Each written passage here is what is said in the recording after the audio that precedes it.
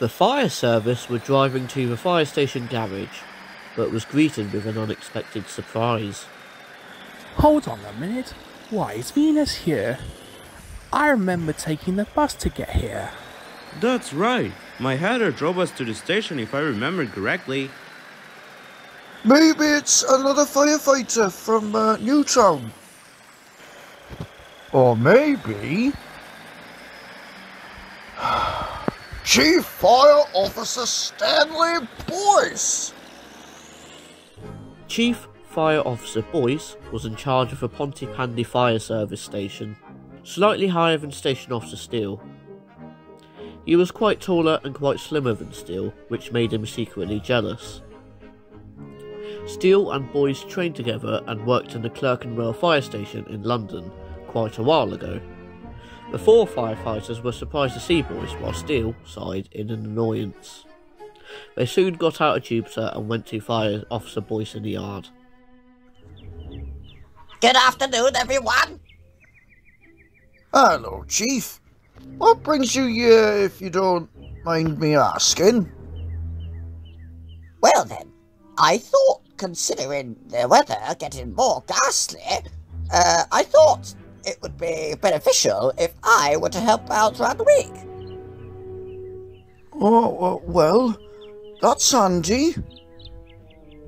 Well, I suppose it would give some excitement to good old Steele here. Wouldn't it, Basil? You should say that. Our Sam has actually saved poor Mrs. Lasagne from falling to a dramatic demise. Is that so? Well then, looks like an award ceremony shall be handed to Fireman Jones tomorrow afternoon. A nice shiny medal awaits you. Oh, really, Chief? I was just following unofficial orders. More than that, Samuel. Basil could learn a thing or two from him. Elvis, Penny, and Trevor chuckled lightly, while Steele muttered under his breath. Meanwhile, Norman, who followed them, was watching behind a bush outside the yard and was more than impressed. Oh, jumping jelly babies! I didn't know Fireman Sam was more of a hero. Perhaps I can act kind and earn a medal. He ran quickly to the fire station while they still walked into the station. Here, let me help you through the door, Fireman Sam. Hello, Norman. What you up to today? Me? Oh, nothing. Just being kind to see if I could earn a medal.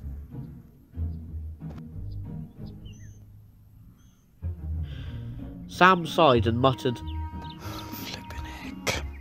under his breath and told Norman some words.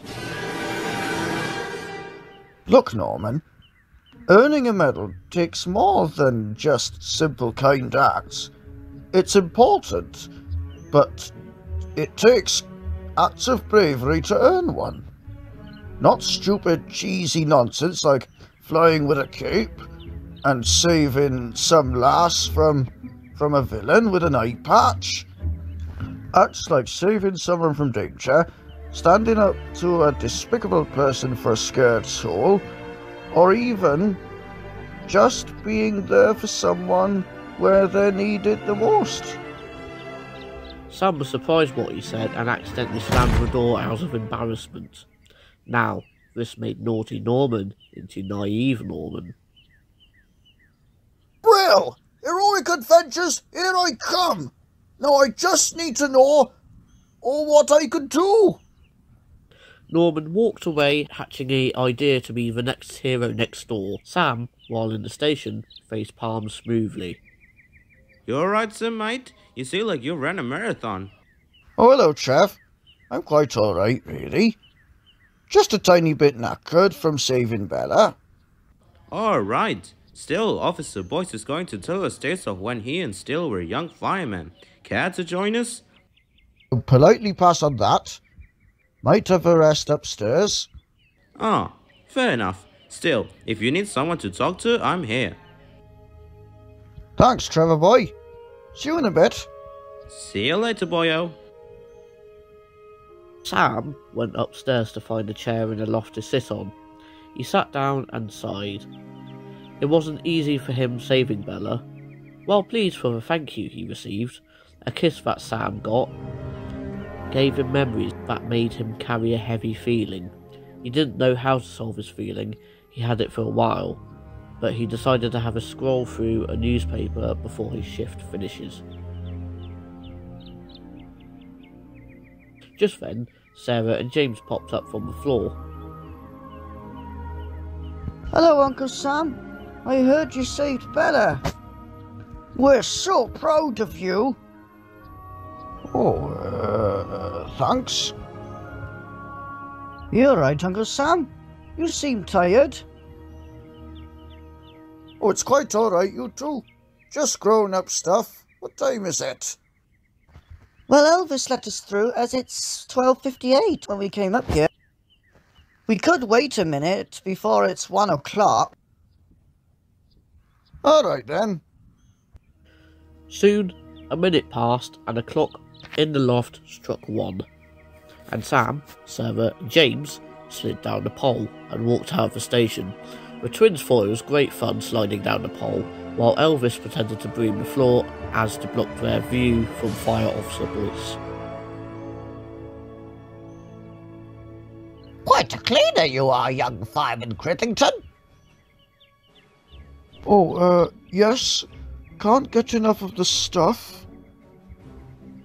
Well, that reminds me. Uh, here we go. When me and Basil were youngsters, I would often room with miraculous measure. No fire dust would affect our lungs when Fireman Boyce was around. And for Basil, oh, he was good too. They all chuckled while Station Officer Steele gave him a disgruntled look. They all stopped laughing then. Well, as much as I would love to chit chat, I've got some important files to look at. Cheer for now. Uh, okay, sir. Good luck, Basil. By the way, Chief, could I ask you a couple of questions? Of course, young Cridlington. What is it? Well, you see, Chief, I nearly caused a, a major accident today.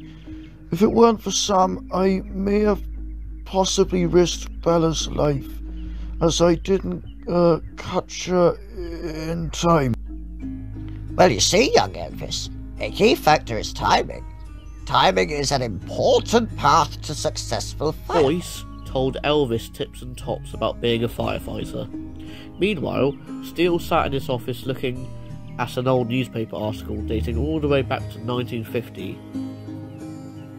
Young fireman Basil Steele saved life. Gentleman declared Newtown County hero. Steele laughed lightly and decided to continue with the crossword puzzle.